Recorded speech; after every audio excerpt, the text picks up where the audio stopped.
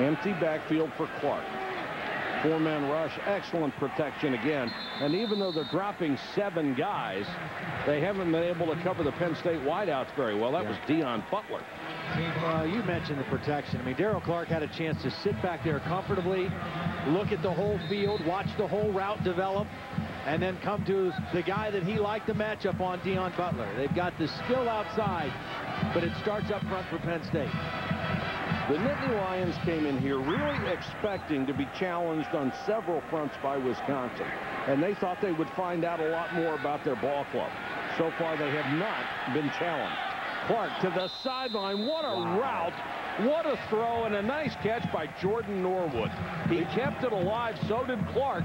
Just bought time in the pocket and hit the throw. Well, Clark was able to just muscle this one out, and Norwood with some fancy footwork along the sideline came back to the football and still kept his feet in bounds. Only needed that one foot in. He got the right foot in, but credit Norwood for seeing his quarterback under duress and coming back to the football. And great awareness of what he where he was on the field, not only to come back, but to look down and find the sideline. First and goal, Nittany Lions. Royster is the single setback behind Clark. Clark wants to throw. Quarterback draw. Royster gave him a block. And look at the power of Clark. He just dragged Mario Goins into the end zone. The extra dimension you yeah. talked about. When he gets a couple of yards away from the end zone, there's no denying it. And Wisconsin knows that's where Penn State likes to run him is in the red zone.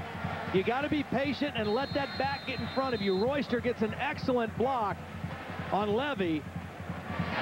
And Clark able to, to muscle that one into the end zone again. Very, very impressive performance by the Penn State Nittany Lions. Undefeated ranked sixth. They'll move up at least one spot in next the week's poll. play is being reviewed. Well, we now, were here going to look at here, yeah. Todd, is whether his knee whether the down. ball was across when his yeah. knee went down. I think it was. Well, we were here last week, and we saw Ohio State play Wisconsin as we take another look at the run by Daryl Clark.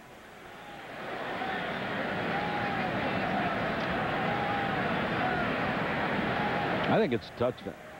It was ruled a touchdown on the field. They'd have to have convincing evidence. This this angle might show it to us whether the knee was down before the ball got across. That's a touchdown. Sure looks like it. Or at least it's close enough they're not going to be able to yeah. reverse it. That ball, I yeah. believe, is easily across the goal line. In a couple weeks, Penn State will play Ohio State in Columbus. And uh, Obviously, that's going to be a big ball game, and I'm not saying that Penn State After will review, win that game. The play stands as called. Touchdown. That'll There's be a, a tough in game. there, isn't there? Well, the, the only butt in there is that watching both of those teams, this is the better football team yeah, right absolutely. now. I mean, th this I is agree. the best football team, I think, in the Big Ten right now.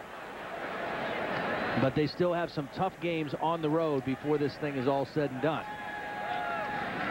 The Ohio State offense today, by the way, did not have a touchdown. They struggled against Purdue as quarter.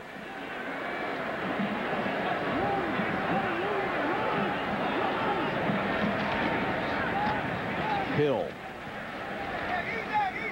And Penn State will give them all those runs up the middle they want to try with a 24-point lead to protect. Clark now putting on that neoprene sleeve over the elbow that he banged up in the first half. Well, this is a, a big opportunity for Penn State. They, they are in control of this football game right now. They have not won consecutive games in the Big Ten on the road for several years. They're several times out now, and this is a, uh, a great opportunity for them to take another step towards their goals. Jared Odrick made that last tackle. One of the Wisconsin players is down. Weight on that leg, and Bill Nagy, number 76, has checked in in his place.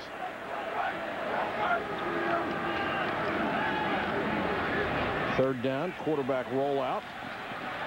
Diving for the sticks. It appeared he was just short of it. About a yard short was Evridge.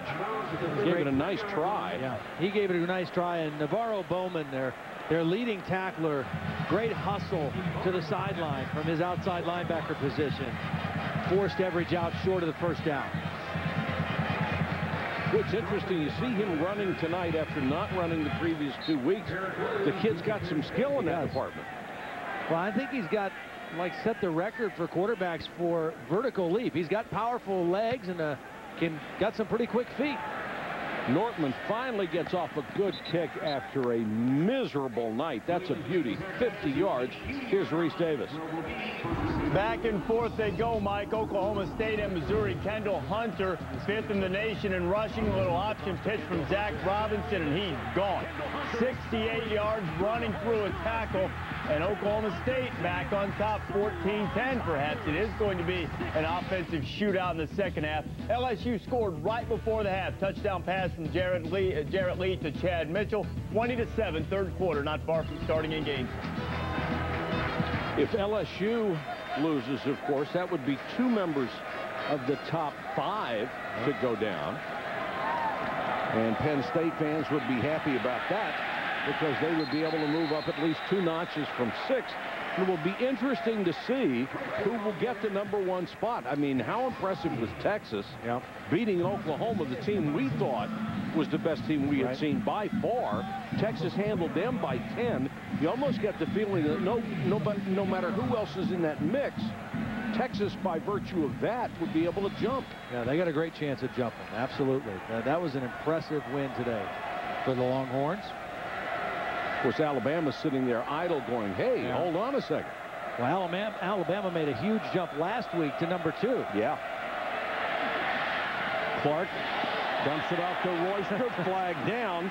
Royster still on his feet, dives out to the 38-yard line. Now we'll check the penalty. I think it's pretty obvious going to be a hold on Wisniewski. Yeah. DeAndre Levy was there to make a play, and Wisniewski got a hold of him. His uncle Steve did that a couple of times, and his uh, his father Leo was a defensive lineman. He was held a few times. During the play, holding, offense number 61, half the distance from the previous spot. Repeat the down. Well, Stefen has really come on, though, uh, as the right guard, the youngest member of this offensive line, the first-time starter. Played at Pittsburgh Central Catholic. Right there's the hold on Levy. And uh, this play's coming back. The first, I think that's the first penalty now for Penn State in the ballgame. Talk about how do you win on the road. You don't turn it over. Yeah. You don't get penalized. You play solid on special teams. Penn State has done all of those things tonight.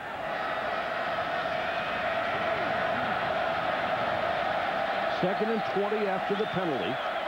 And Stephfon Green, number 21, the speedster, is in. He is taken down on a big shot by Jonathan Casillas. Here's Holly. Guys, first off, Kraig Urbik is out for the rest of the game for Wisconsin with a left knee injury. But more concerning for Penn State, Evan Royster just came to the sideline. He's holding his arm.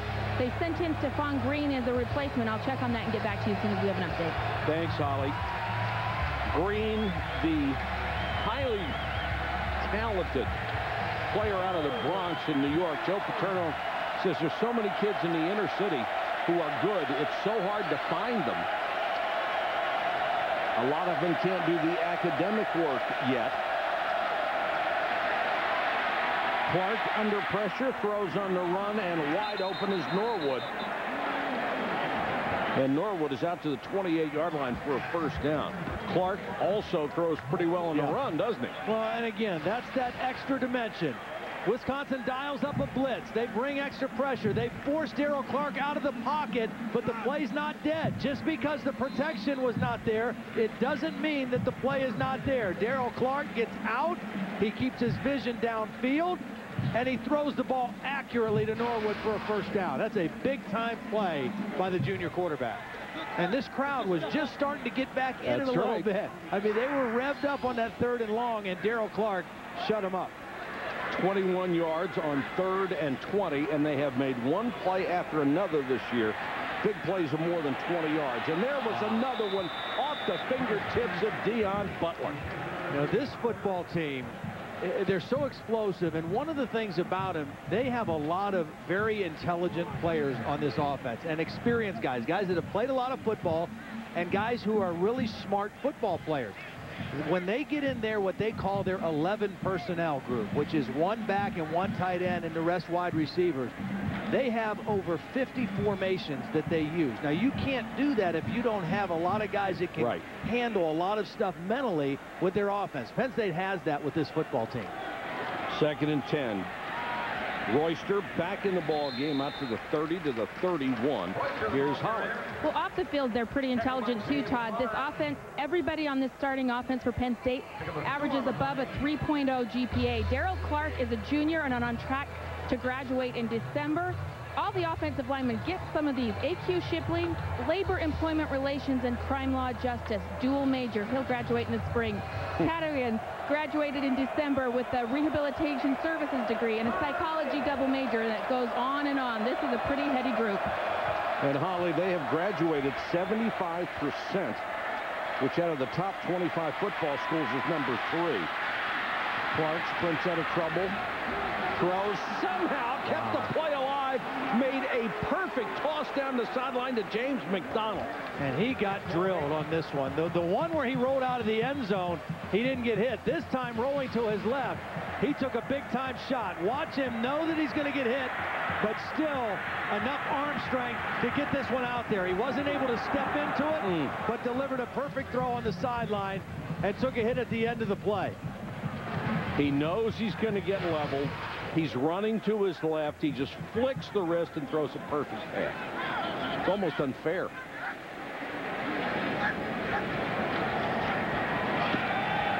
Clark again after a nice play fake. Wide open. Butler. Touchdown Penn State. There is a flag down, but I think it's a defensive holding for pass interference because he the corner was beat so bad he tried to reach out and grab Butler. But he missed.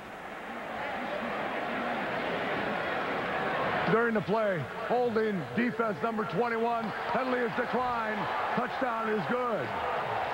Butler was working on Allen Langford, and he went a little out and up on him. And Lankford bit on the out fake and did the only thing he could do was try to grab and stop him from running by. You see, he's beat badly. He grabs, and Butler's still able to stay on his feet and track down the football for a touchdown in half of a quarter. Clark is 7 out of 8, 144 yards. Not bad. Mm. And, and you got to think this is an audition for the rest of the season. And you got to think he's already got the fans on his side. Well, but you got to remember also that Penn State is guarding a 41 to 7 lead. Oh, sure. I'm and not they're, saying they're it, I'm not saying it's fair, yeah. and I'm not saying it's an equal competition. I'm just saying that's the way it is. Yep, absolutely. And that's a good throw. So was the first. That was to Isaac Anderson.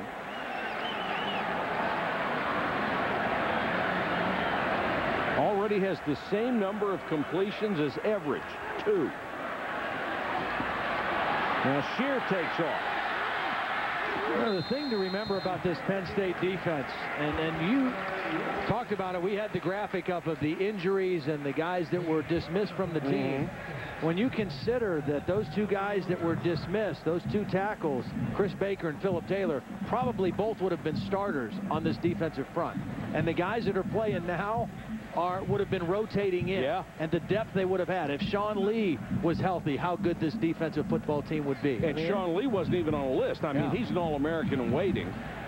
We just showed you the list of all the guys who were defensive ends and defensive tackles who were lost for a variety of reasons. I'll tell you what, the other thing that that says is it Hill running over people down to the 26-yard line. Hill revitalized a little bit.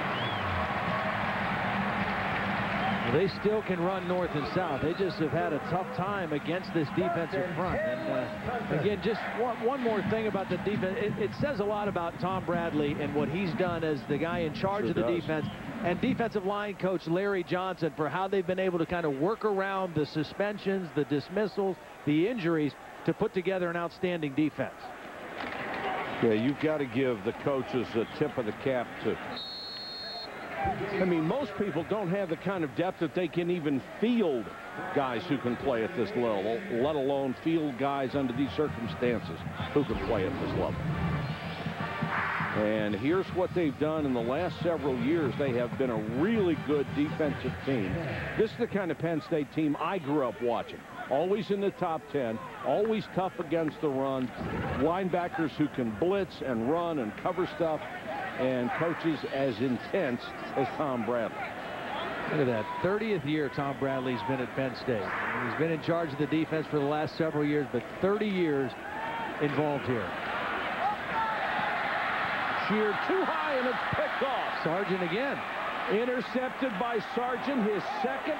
Sargeant looking for a block across midfield and tripped. Boy, Goes he got down at the 45, and Sherer was the guy who's credited with the tackle. Boy, he got a block from Aaron Maybin. The, the pass rushing phenom turned into blocker and got a huge block. The overthrow by Sherer is going to be tracked down by Sargeant. And watch as this return starts. The block he's going to pick up from Aaron Maybin, number 59. Right here on the center, Moffitt. Wow. Deke Cleater.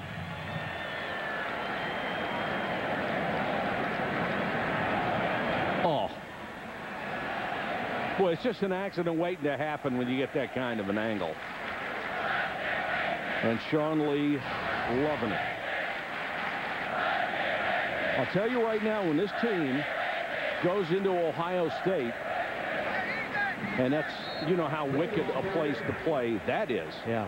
They are going to be favored, and I wouldn't be surprised if they were favored by more than a touchdown going into that ballgame. This is a really good club. Well, Now, got defensively, I think I'd like to, if you're Joe Paterno, he says he wants to see the team challenged to see Yeah. how they respond. I'd still like to see them play a tougher offense. Yeah. Somebody who can move the ball up and down the field.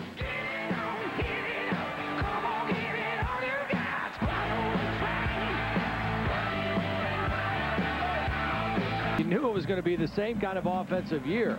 Everybody talks about the Big 12 or the SEC or the Big 10. Uh, the Big 12 offensively, I think, is hands down the best conference Oh, in college yeah. football. Not even close. Tight formation this time. And Penn State will run out of it with Chaz Powell, a wide receiver, sort of a wingback. Chaz Powell is a guy that uh, has kind of emerged. He's a young guy, a freshman out of New Freedom, Pennsylvania, and really they were expecting to have A.J. Wallace kind of be the backup to Derrick Williams and do some stuff on offense. And uh, A.J. Wallace had a an injury in training camp and couldn't do a lot of that stuff, and so the guy that stepped up into that role was Chaz Powell, and he's been kind of a big play guy in limited action so far this year. Royster is back in at tailback. Clark throws, picked off.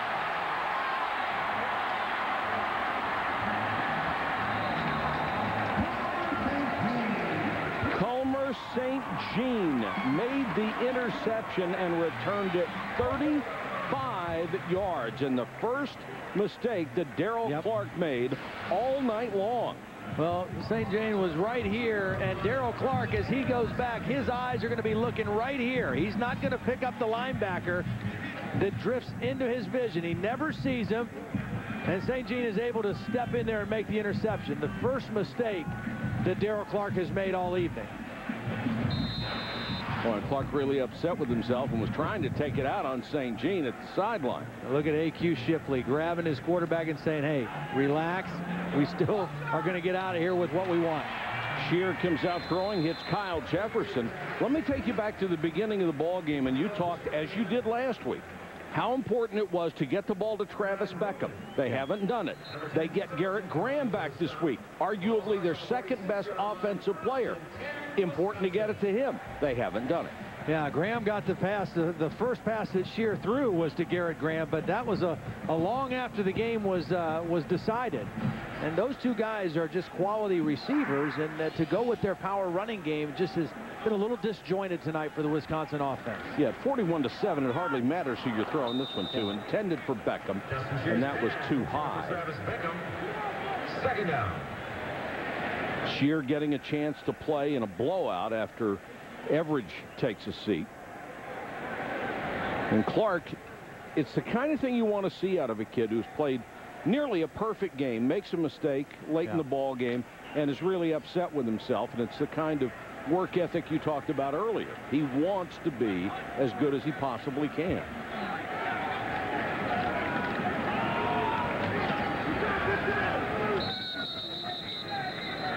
Got another update from Reese.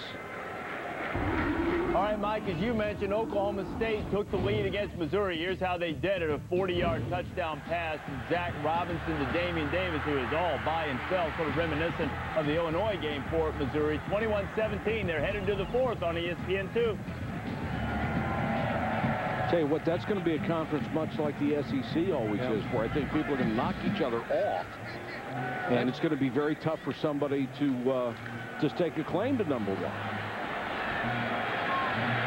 Sherer trying to get a block knocked out of bounds at the 42-yard line. Talked about Texas kind of being a little bit under the radar in their big win today at Oklahoma. I think Oklahoma State's a little bit under yep. the radar. You know, everybody's talked about Chase Daniel in Missouri and Chase Daniel kind of the, the front runner to the Heisman Trophy at this point in the season, but Oklahoma State quietly uh, scoring a lot of points and playing good football out of Stillwater as well.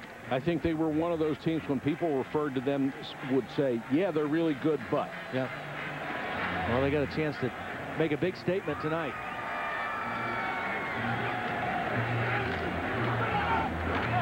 Sherer, good protection, throws underneath. Beckum has the first down to the 32-yard line. It's only his second catch. Beckum last year, 75 catches, 982 yards. Boy, is that any good? It's very good. He's had a tough start to his senior season. He missed the first two games with a hamstring injury. He came back and played. Then they had an off week, and he aggravated the hamstring during the bye week. And he missed the Michigan game. Didn't come into the game to the last five minutes of the game. Had a critical error at the end of that game. Makes this catch, gets away from two tacklers, still on his feet to the 28. But he is uh, he's a very talented guy because he's he's not the biggest tight end in the Big Ten. He's 6'4", 200 or 6'5", about 235 pounds, but he's big enough to get in there and play tight end, and he's quick enough, fast enough, and runs good enough routes to, to go out as a wide receiver or a slot receiver as well. He's a very difficult guy to match up with. And I think at the next level, I think he'll get a chance. If he can put on 10 pounds and not lose the speed he has, I think he'll be able to play on Sunday. Shear sidearmed that one and had it picked. Intercepted by Mark Rubin, his second of the year. And Rubin is a guy who is a great story. He was an accomplished high school swimmer. And guess who he beat several times in high school? Michael Phelps. Well, lost maybe 40, but he won five. Let's go to Holly. Well, guys, stick around. When we come back, we're going to take you inside the Penn State Huddle and find out what the 15 seniors are playing for this season.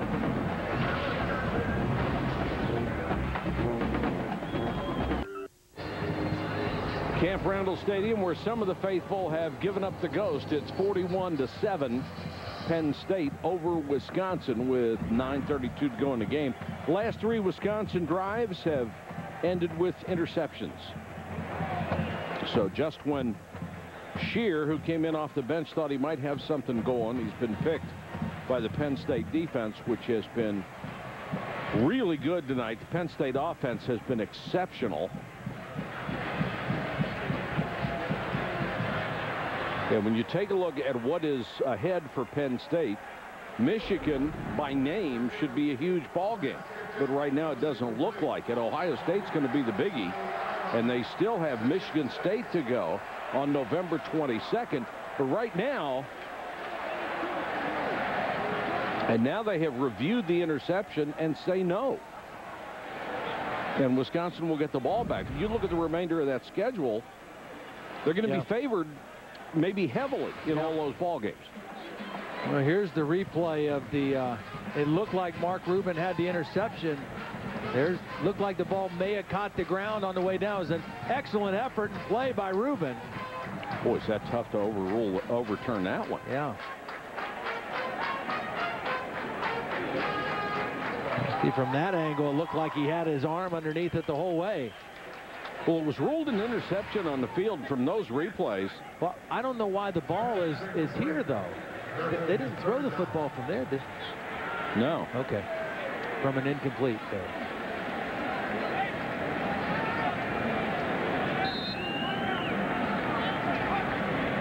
Boy, that looked pretty close. Looked better than close. And now I think Illegal snap. 74 offense. Five yards. The down remains third. John Moffitt, the center, called for an illegal snap.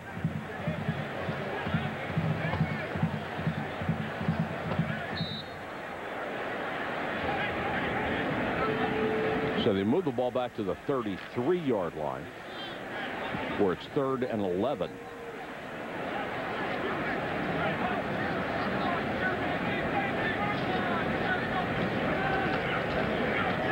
Who came on in release of Evridge, had that one tipped at the line of scrimmage, and it's incomplete. Had Maurice Evans in his face.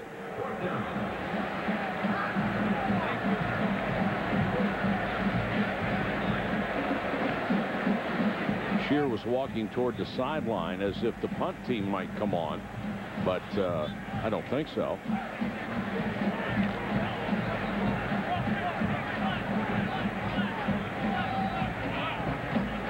Evridge on the headset behind Bret Bielema. Fourth and 11. Obviously, you're going to go for it down by this much. Here comes the blitz. Hit from behind, loose ball. Well, I tell you, he has been everywhere today. I from mean- the left end, from the right end, this kid is a great skill player. Well, obviously it helps when you're winning 41 to 7. You can pin your ears back, but that's how he plays all the time. I mean, he just is going to go right around Josh Oglesby. Watch this speed rush. Too fast to the corner. Sherer has no chance, and then he's got that instinctive feel to, to slap the ball out. He did it to Evridge and caused a fumble right before the half that was critical, and he caused another one right there. Sophomore from Ellicott City, Maryland. And right now, he is in that three-man rotation. But they've got two guys who can really rush the Yeah. passer. Well, that brings up another point. You know, people have been saying for the last couple years maybe Joe Paterno should step down. Maybe the game's passed him by. Maybe recruiting's passed him by. I don't think so. There, there's some talent, some talent and some young talent on this football team, and they are as explosive and as diversified offensively as anybody out there, and defensively. Uh, they've got speed and they've got depth and they've got young talent. I mean, this is a this is an impressive football team. Well, we had a, a chance to visit with Coach last night, and it's almost like going to visit royalty. You get the same feeling, only it's better than royalty. He has earned that kind of respect. Royalty, you're born into it. You know, you just happen to have the uh, the silver chalice handed to you. Joe Paterno has earned it by being at Penn State basically his entire adult life. First as a, an assistant to Rip Engle, and then as the head coach for 43 years, and as the winningest coach in the history of this ball game, uh, uh, of this game. He's done it with class. He's done it with dignity. And I'll tell you one thing for sure: when he decides to hang it up, and let's all pray that it's totally his decision and nobody else influences it, we will never see his like again. Yep. There will not be anybody that does it the right way for so long and so successfully at one school. It just will not happen again.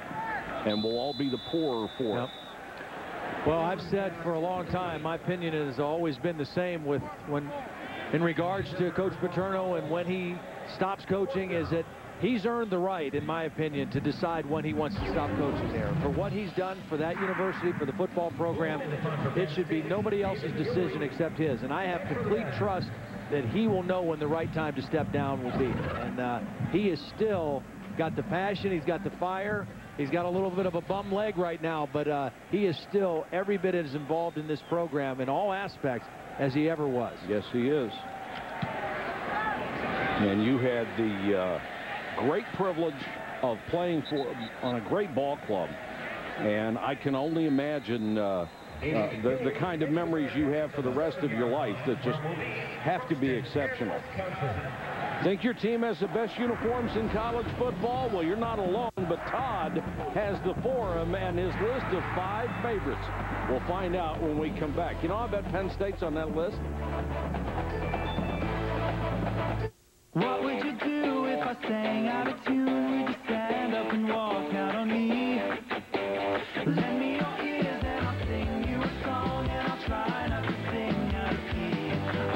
get by with a little help from my friends. Yeah, I'm gonna try with a little help from my friends. Oh, I get by with a little help from my friends, with a little help from my friends. At Hampton, we love having you here.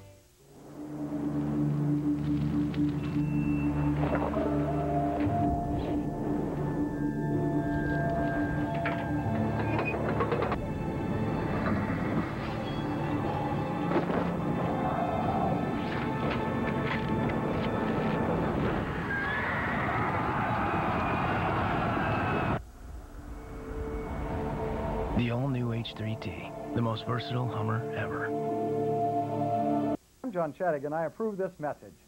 The ads attacking John Shadegg are just false. Out-of-state Democrats, trial lawyers, and big labor are distorting John Shadegg's record. They're spending millions to fund liberal East Coast lawyer Bob Lord. Lord's attack is fundamentally false, says the Arizona Republic's Bob Robb. Shadegg is an independent, principled Arizona leader. Bob Lord has nothing good to say about himself and nothing honest to say about John Shadegg. Bob Lord, false attacks, liberal record. We need John Shadegg fighting for us.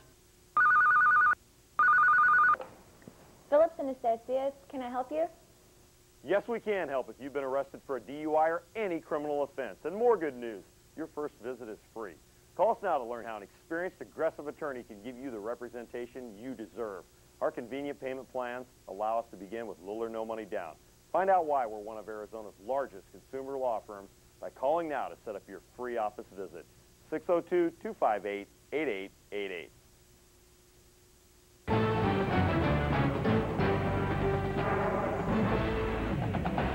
ESPN's College Football Primetime is presented by Hampton Hotels. At Hampton, we love having you here. And in part by Hummer, like nothing else. The Bloomin' Onion one from the Outback Steakhouse flying around Madison, Wisconsin tonight, providing our aerial coverage. Outback Steakhouse is the proud sponsor of the 2009 Outback Bowl to be played January 1st in beautiful Tampa, Florida. Wisconsin takes over at the seven-yard line. Under eight minutes to go. Sherer is in at quarterback, and Rentmeester, number 34, the fullback, gets a carry. Let's go to Rece Davis. All right, guys, the Gators have answered the challenge from LSU. It already scored once, 27-14, a little option to Jeffrey Demps. That's world-class speed, boys and girls. Not reeling him in. 42 yards, 34-14, Florida. Not yet in the fourth quarter. Oklahoma State clinging to that four-point lead over Missouri. They just fumbled near midfield, though, and Missouri has the ball at the moment. Boy, the Gators showing that serious speed tonight. Flag is down on this play. I don't know anybody else that has more pure speed than the Gators.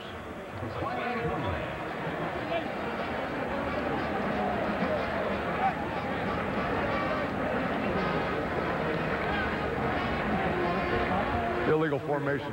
Not enough men on the line of scrimmage. Offense. Five yards, half the distance. Repeat the down. We've been talking about where teams might be. I mean, just assume for the minute that uh, Missouri and LSU would both lose. Who moves up? Uh, Texas with that huge win over Oklahoma. I think if anybody moves up, they've got the nod. Uh, Alabama was idle, so maybe Texas, Penn State, and Missouri, if these scores hold, would you, or Alabama, uh, Texas, Penn State, and Alabama, would you go for that? Yeah, I'd go for that. I'd go for that. Uh, still doesn't matter a whole lot at this point still, but No, but for those of us who drink the Kool-Aid every Yeah. week, Yeah. you know, we want to see a number one that we can. Well, when you beat number one, and, and, and a game like that, I mean, that, you know, there are a lot of eyes on that Texas team today. Yes, And, sir. uh, Alabama was not playing. So the uh, eyes of Texas, in yeah. fact. and everywhere else. So uh, That was a very impressive win, and I, I could very easily see them move into that number one spot. You're just trying to be a poet like me, aren't you? Trying to entertain in that way. Elizabeth Barrett, Blackledge. Sherer in the end zone under pressure. And shoved out of bounds at about the 10-yard line. Here's Holly Rowe. Standing and Penn State trying to sneak into those top standings. You know, their wide receiver, Derrick Williams, is very open. He said, we are playing for a national championship. We talk about it every single day. When we break our huddle, we say national championship. He's not apologetic. He's not thinking that they're looking too far, too far in advance. And he said, you know, Joe keeps telling us, take care of things one game at a time. But he said, if you take care of the little things, the big things will be in place. It's the kind of thing, Holly, that he has stressed his entire career, and he has proven to be right time after time. End over end kick. Williams at the 48 makes the fair catch there. 40-yard kick, no return. Todd's top five uniforms when we come back.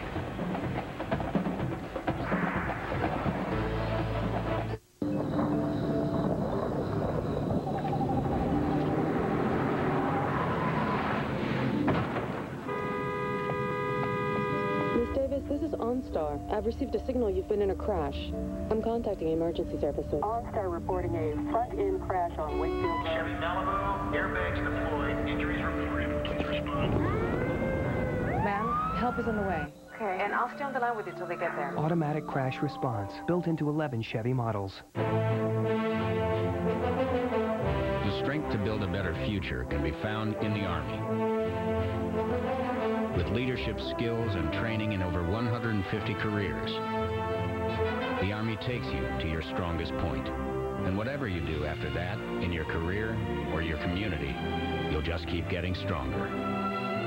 There's strong, and then there's Army Strong. See what it's like at GoArmy.com.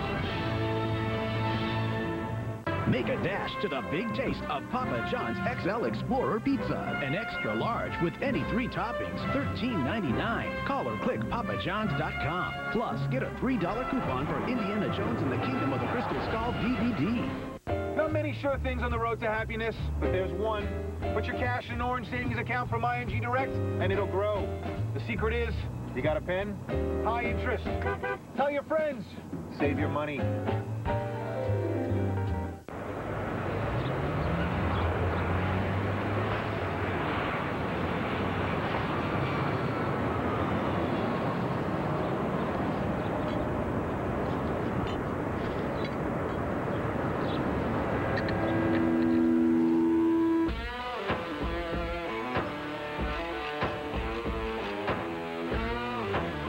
Whatever you're working on, Advance will help you keep the wheels turning.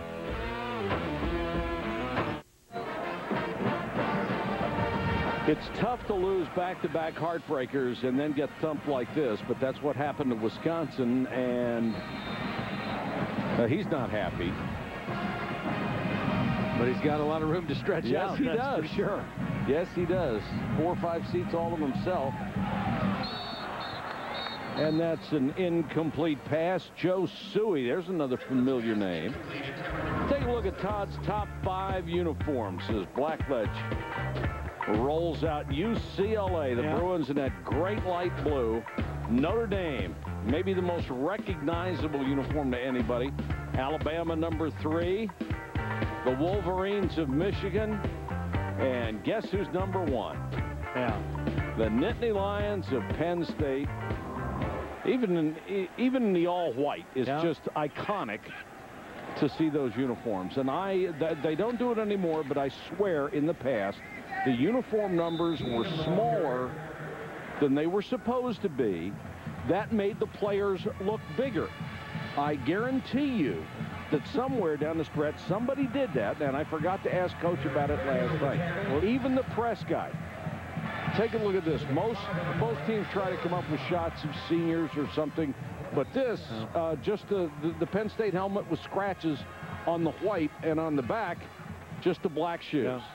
And uh, the, the players have complained about it for years. I'm sure they did in your day. Let's Yeah. wear, you know, change them. Well, the, the uniforms are fancier now because they've got blue face masks. We had the, the gray face masks. They, have really spruced it up with the blue face mask. Oh now. yeah, that really Yeah. that really changes the image there with that blue face mask. Well, the thing about that uniform is whether it's white or blue, you're flipping through the channels and you turn on a game and you see it, you know immediately who it is. You know it's Penn State, and uh, there's no question about it. It's been the same Personal forever. foul, roughing the passer, 45 defense, 15 yards from the end of the run, first down. And if if you're a little bit older, you go back and you see a Mississippi uniform. You know exactly.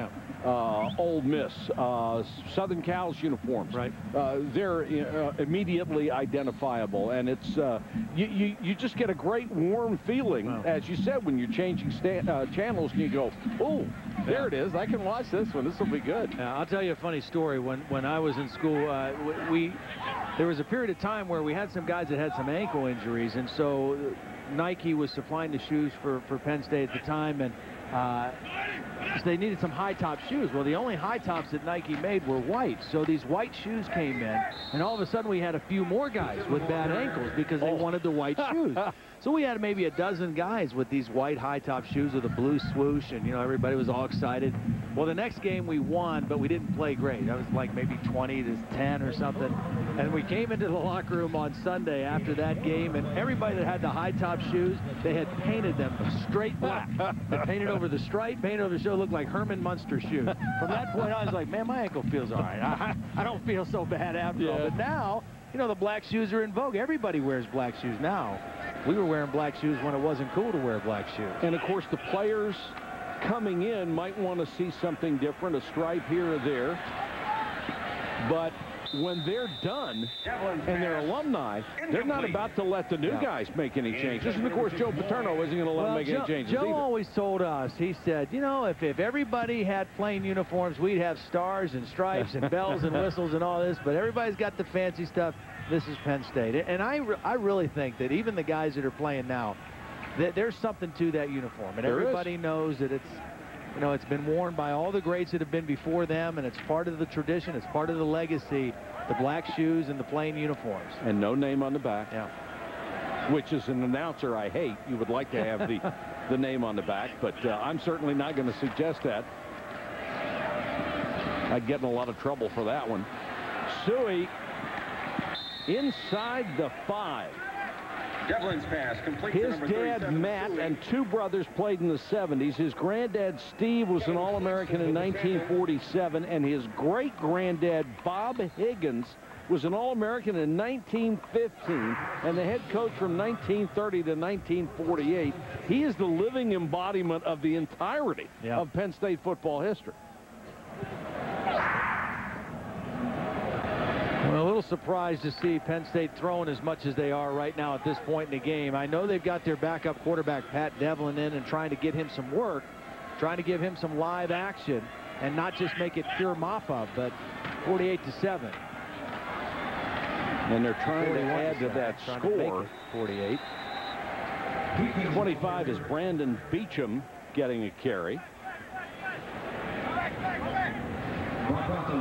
Well, I remember hearing a coach years ago complain about the other team scoring a lot of points at the end of the game, and he was told, you know, it's your responsibility to stop me, not the other way around. Well, I agree with that. I definitely agree with that. I just don't know that you need to throw more than you run. No, I'm, I'll concur with that. They're down at the one with the clock running, 2.55 to go in the game. This is a team that's averaged 44.8 points a game. They'll be at least close to that, if not above it, and Devlin sneaks his way into the end zone. No signal yet, but his waist is over the goal line, so you Your have to assume call. the ball might be in there. Of course, the umpire saw it 30 seconds ago, but the linesmen have to run in and get their call.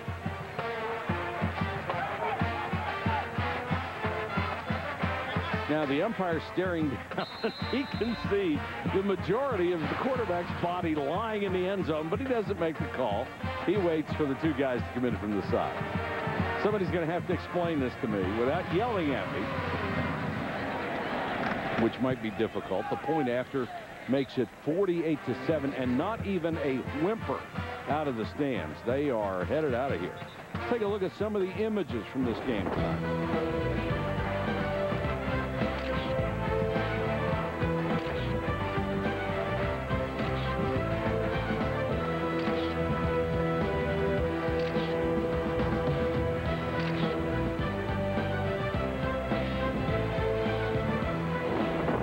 Close to number one after this, and in the era of videotape, sometimes it's nice to see those still images. They uh, illustrate a lot of things that have gone on tonight.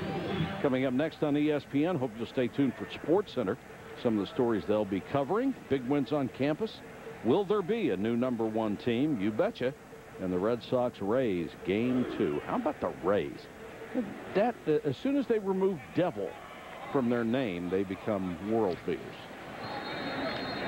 If you believe in symbols. Well, I believe that. Gilreath is deep. It's 48 to 7. Mercifully, only 2 minutes and 40 seconds left to go.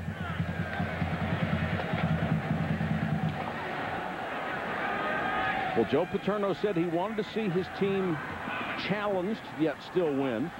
Well, they weren't even challenged tonight. They were just dominant against a Wisconsin team that had shown itself to be pretty good coming in here. This week on Monday Night Football, Eli Manning and the undefeated New York Giants go to Ohio to take on the Cleveland Browns.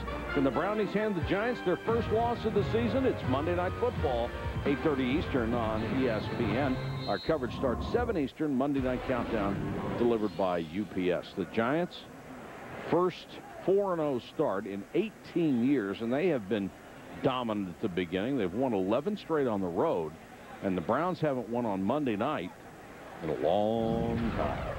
That's kind of amazing. I mean, when, when Eli was still at Ole Miss and Peyton was starting to make a name for himself in the NFL, uh, very few people probably thought that Eli would ever measure up to Peyton, you know, and uh, they're different personalities, but physically they're very similar. Their style of play is very similar. Their seriousness and approach to the game is, is similar, although Peyton is a little bit more over the top from a preparation standpoint, but Isn't Eli has certainly, uh, boy, he has just played marvelously, and of course has the Super Bowl championship like his brother, and uh, is uh, has really got himself up to a very similar level to his brother. When you practice kneel downs, like Peyton does, you are over the top. and when I first heard that, I said, you know, you've got to be kidding. Why do you practice kneel downs? And he says, because there's a fake off of it. And if I don't do it the same time every time, the same way, the fake will never Yeah. work. And he's right. I mean, Yeah. he's got a reason for doing some of the screwiest stuff you can think of, but there is a reason behind it. And one of these days, maybe 10 years from now, that will pay off because he does it all the time. he, he's just remarkable in Yep. preparation, and he's he's a great person. So's Eli. So's the whole family. That family is about as good as it gets.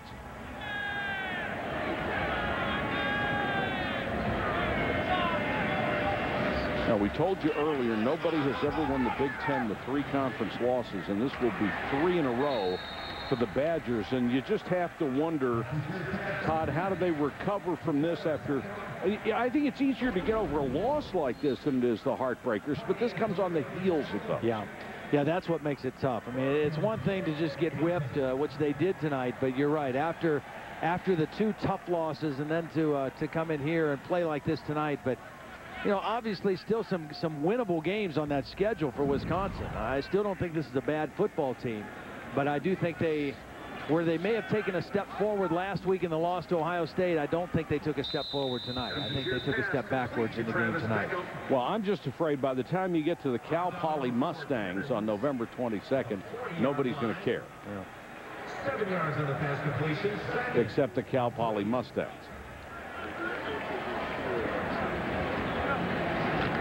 Our producer Bo Garrett just asked a great question. Will it be Dustin Sherer or Allan Evridge at quarterback next week? I don't know that Sherer showed enough in uh, his brief action uh, or if, well, I just don't know. Yeah. They probably don't either at this point. Down the number eight, Lynn And Oklahoma State have been handed an update, now leading Missouri 28-17 with 6.30 to go. And uh, I, I agree with you about Oklahoma State. With so many great teams in that conference, I think people really underrated them and sort of dismissed them because of the schedule they had played. But they're not going to dismiss them anymore. Nearly another pick. And that would have been another one for the Lydell Sargeant. The Nittany Lions have not been 7-0 in 10 years.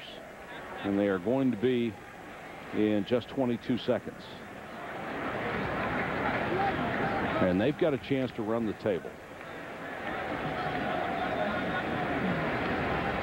And Joe Paterno has done that before. Several times without a national championship, he's gone unbeaten.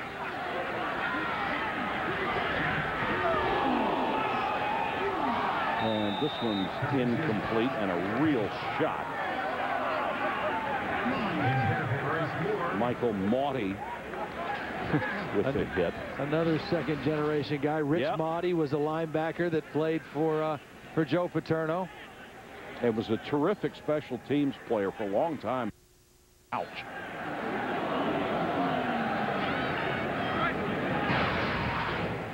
Just for his trouble, Sherer got drilled with 13 seconds to go.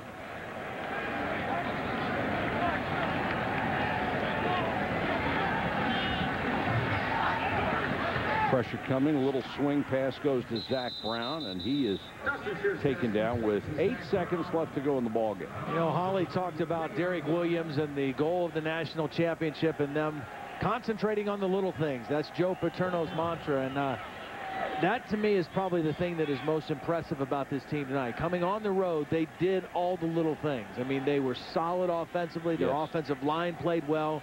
Their defensive front was dominant in the game. And they were they were outstanding in special teams. They didn't get penalties. They didn't turn the ball over. Uh, they did all the little things well, and it added up to a very big win here in Madison. And they looked good in blue and white. Last play of the game, out of bounds at the five. The worst home loss for Wisconsin since 1989 when they were manhandled by Miami. 51 to 3 and you're right this was a statement game I think for Penn State for the rest of the country watch out the Nittany Lions are back and they are really really good this year the final score 48-7 coming up next on ESPN stay tuned for Sports Center for a wrap up of this game. Catch us on ESPN News in just a few minutes. This has been a presentation of ESPN the worldwide leader in sports. For Todd Blackledge Holly Rowe and our entire ESPN crew this is Mike Patrick. Thanks for watching everybody. Good night from Madison